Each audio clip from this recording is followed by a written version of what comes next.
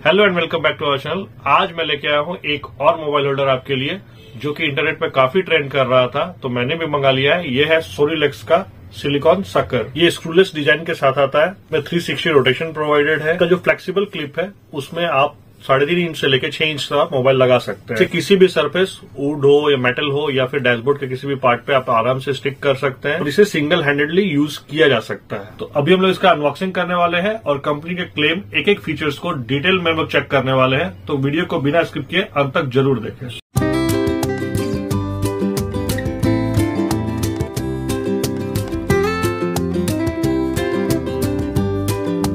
Product काफ़ी premium दिख रहा है इस पार्ट से। ये जो क्लिप है, ये काफ़ी बढ़िया है और ये काफ़ी इसमें स्ट्रेंथ दिख रहा है। पीछे की तरफ़ से देखेंगे तो जैसा नॉर्मल रहता है, सबका वैसा ही है।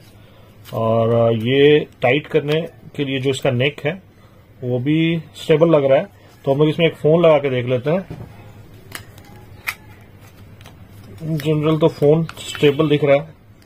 अभी देखना ये होगा कि जब हम लोग इसको यहाँ से सक्शन कर देंगे तो ये फ़ोन को कितना होल्ड कर पाएगा और इसमें तब वाइब्रेशन होता है कि नहीं। कुशन की बात करें तो कुशन का क्वालिटी काफ़ी बढ़िया है। कुशन बढ़िया लग रहा है। और अगर नीचे ये बात करें बाकी के पोर्शन की बिल्ड क्वालिटी की तो ये कुछ खास मुझे नहीं लग रहा। ये नॉर्मली लग रहा है। और पीछे जो है इसमें इसे निकालने के बाद यहाँ पे जेल टाइप फीलिंग है, ये जेल वाला है। तो शायद इसको रिमूव करने के बाद ये जेल का स्ट्रेस मार्क वहाँ पे रहे तो हम लोग इसको स्टेन देखेंगे। कार में रहता है कि नहीं शीशे के ऊपर। अभी हम लोग इसको इंस्टॉल करने वाले हैं तो इसको इंस्टॉल करने में ज़्यादा कुछ नहीं है। यहाँ से इसको उखाड़ के चिपकाना है और इसका सक्शन यहाँ है। पहले सक्शन को ऐसे क्लिप ऑन कर लेना है, उसके बाद इसको उखाड़ के चिपकाना है। मैं अभी लगा के दिखाता हूँ आपको। इसका सक्शन सबसे पहले मैं खोल लेता हूँ, उसके बाद इस पेपर को हटा के मैं इसे यहाँ पे भी इंस्टॉल करने वाला हूँ। यहाँ पे ऐसे करके और इस सक्शन को पुश कर देना है। ऐसे तो स्टेबल लग रहा है। अभी हम लोग हम लोग देखेंगे कि ये सिंगल हैंड से यूज़ होता है कि नहीं। इसका एक फ़ंक्शन है सिंगल हैंडेड यूज़ होता है कि नहीं। तो इसको मैं देखता हूँ। हाँ तो एक हाथ से ये लग जा रहा है और एक हाथ से नहीं। थोड़ा दिक्कत हो रही है और इसका नेक देखिए अब टेढ़ा हो गया।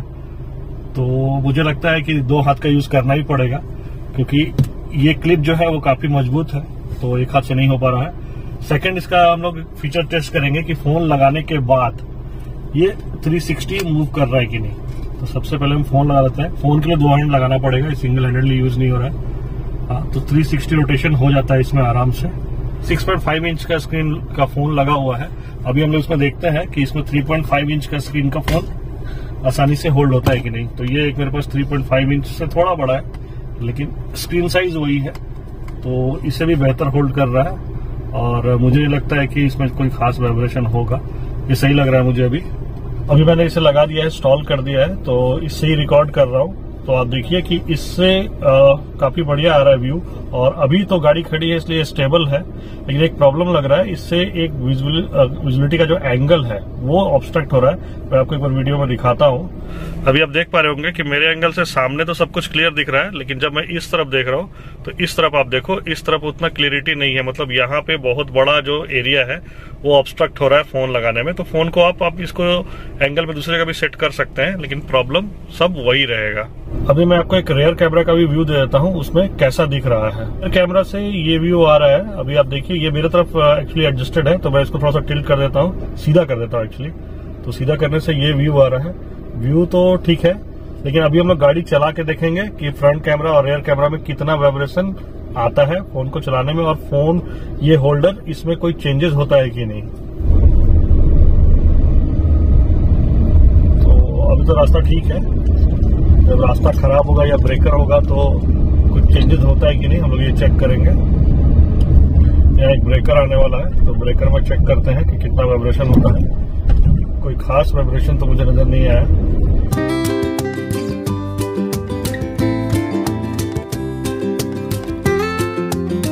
फ्रंट कैमरा में शूट हो रहा है।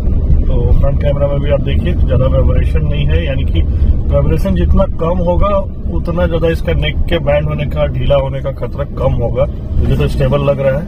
विजिबिलिटी का एक इश्यू रह रहा है, क्योंकि ये बहुत फ़ोन लगाने से बहुत बड़ा हो जा रहा है। तो आपको ऐसा प्लेस देख के लगाना होगा जहाँ पे विजिबिलिटी का इशू ना हो। विजिबिलिटी के इशू की वजह से ही मैंने मैग्नेटिक मोबाइल होल्डर लिया था। तो मैग्नेटिक का आपने वीडियो अगर नहीं देखा है तो आप देख सकते हैं। आई बटन में लिख दे दूँगा।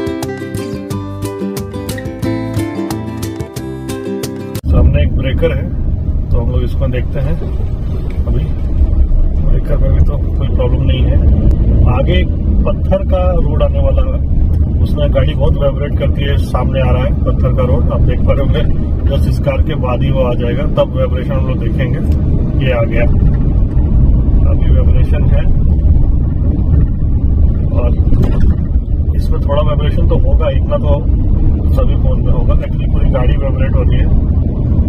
लेकिन स्टेबिलिटी इसकी अच्छी है तो मेरे हिसाब से तो स्टेबिलिटी टेस्ट में ये पास है। तो अभी मैं इसे रिमूव करके देख रहा हूँ कि ये कोई मार्क छोड़ता है कि नहीं।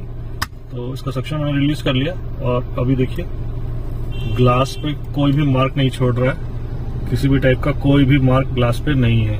अभी हम लोग इसको डैशबोर्ड पे चिपका के देखेंगे कि डैशबोर्ड पे ये कितना स्टेबल रहता है। अभी डैशबोर्ड पे माउंट करने के बाद हम लोग देख लेते हैं कि डैशबोर्ड पे ये स्लिप होता है या कि नहीं। डैशबोर्ड पे इसकी स्टेबिलिटी कैसी है, उसको भी हम लोग टेस्ट कर लेते हैं। तो अभी डैशबोर्ड पे माउंटेड है। अभी आप देख सकते हैं, स्टेबल कितना है। यहाँ भी काफ़ी स्टेबल है।